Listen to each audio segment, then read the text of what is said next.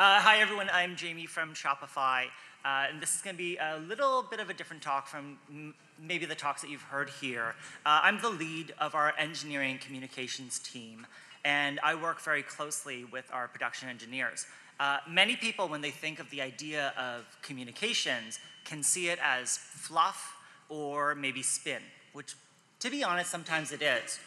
But it also plays a vital role because it's the framework for how we as humans as social creatures interact and align. Uh, if you've ever been to a wedding and heard a very, very bad wedding speech, you can know how important good comms can be.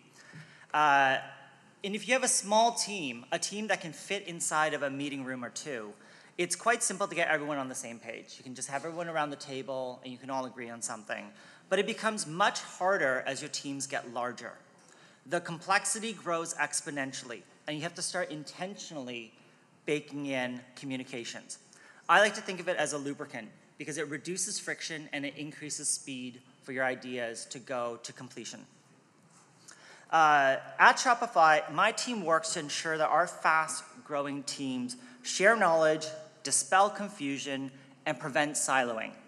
And building a culture of communications helps our teams scale and become more resilient. So, what does a culture of communication look like? Well, for us, it's a series of rituals and routines we've built to affirm a set of values around how we interact with one another. And here are six things that we're seeing from fostering this culture. It's a very GIF heavy presentation.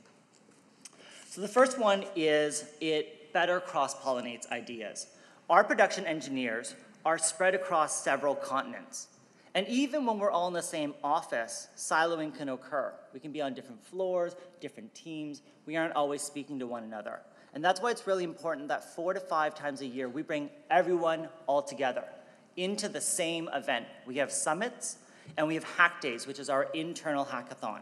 And what we're trying to do there is we're trying to nudge people into sharing. Ooh, I feel like I just got louder. Um, we're trying to nudge people into sharing approaches and experiences with one another.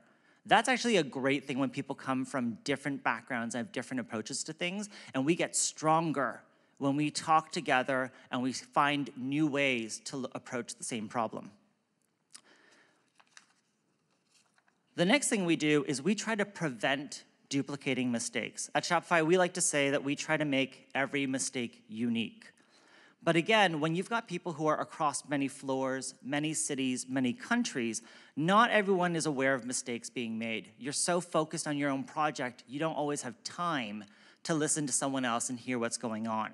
So we've found two ways to try to correct for this. On a very casual level, in Slack, we're always there chatting with one another. And if someone's having a problem, that's the place to go, and everyone's very generous with their time to jump in and answer. It's very rare that you will jump into a Slack channel, ask a question, and not have an answer within 30 minutes. Someone is gonna be there for you, even if they don't know who you are, even if you're new to the company. That's something that I think is really great about our company. More formally, we are taking our RCAs and we're making a newsletter out of it. We are, in, we are interviewing the devs involved we are talking about the incident, we're talking about how we solved it, and we're writing it up in a blog post or magazine style and sharing it across the org. We want to make sure that we've paid the admission, we've paid the price for that mistake. We want as much value for that mistake as possible and to share that lesson as broadly as possible. Next, we try to foster a growth mindset. So this is based off of the work of psychologist Carol Dweck, where she talks about a growth mindset versus a fixed mindset. And a growth mindset is the opportunity to improve, to learn, and to approach mastery. Whereas a fixed mindset says, what I've been given, what I can do right now is all I can ever do. And I don't think that's true of anyone whatsoever. And it's actually sad to me that sometimes we approach life that way. What we want to do at our jobs uh, is to make sure that people can feel vulnerable enough to share their mistakes, be willing to admit it, and be willing to tell other people, because that's how we grow. If we have to hoard and try to, if we're scared that when we share a mistake, that we're going to be judged, that people are going to call us out, that we're going to feel very bad, and that we have to try to, you know, we don't, we're going to become quiet because of all the shame, that's not going to help anybody, actually. Uh, and we also try to push ourselves to be better at facing that vulnerability. We have people talking at team level show and tells, so you can tell your peers what you're working on and get that feedback. Then we move you to a company wide talk, so you tell everyone at Shopify what you're working on. And sometimes you know, people have feedback. I mean, I've worked with enough devs. You all are a very opinionated bunch. You will let someone know if something isn't working. And then we move it to conferences. We always say, well, why don't you try telling it at this conference? Why don't you tell at that conference? To continue to share those stories and then be able to learn from other people as well. Because that's a great thing. If you come to me afterwards and say, I have these improvements for you for your talk, that helps me grow. I actually, I appreciate that. I want that. But you have to be at a company that says that that's okay to fail. All right, aid a greater sense of direction. This is all about context. This is all about building an understanding of what we're doing. So, again, at the summits, we have State of the Unions because as we continue to grow, as you continue to get bigger, it can be really hard to understand how your part of what you're doing fits into the greater goal. And when you don't have that, when you're missing that, there's a gap, it can be harder to feel engaged in the work that you do. So it's important to keep telling people what we're doing and why we're doing it. And at the pace that we add people to our company, you can't just do it once and then stop. So this is an argument I have with devs all the time. They do one engineering talk in our company two years ago, and they go, I did it.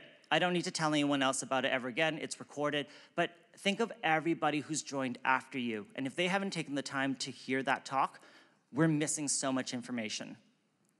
And then again, with the newsletters, the reason why we take the time to interview people, why we want to write it magazine style, is because we want to make it as engaging and interesting as possible and have enough details in there that you want to read it.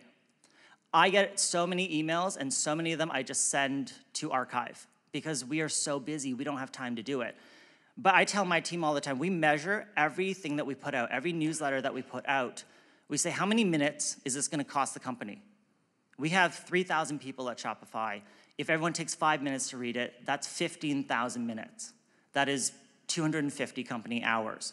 Was this one thing that we sent out worth that amount of time? And we are seeing really high open rates for our newsletters, indicating that yes, people agree. All right, number five, understanding our strengths. There's a really interesting study, and this is something you can do whether or not in production engineering or within your own life. When people tell the story of their own lives, they actually become more positive about what they're doing. That's a really interesting thing about storytelling, about narrativizing. After this conference, tell yourself the story of how this conference went. What happened? Who did you meet? What did you do? What did you really enjoy? And somehow, when we work it into a story, we actually see it more clearly. And this is why I'm such a big believer in stories. This is stories are the way that for generations humans have talked to one another. So we tell stories so that we can underline our strengths. We tell it through blog posts, we tell it through newsletters, we tell it through conference presentations. When we turn our work into stories, we do a better job of actually knowing who we are, why we're doing what we're doing, and what we're good at. All right, the last one is really just a summation of all the other parts. It's an increased connection to work. I think all of us want to approach our work feeling that we bring meaning, that we bring value, that what we do matters, that we're seen.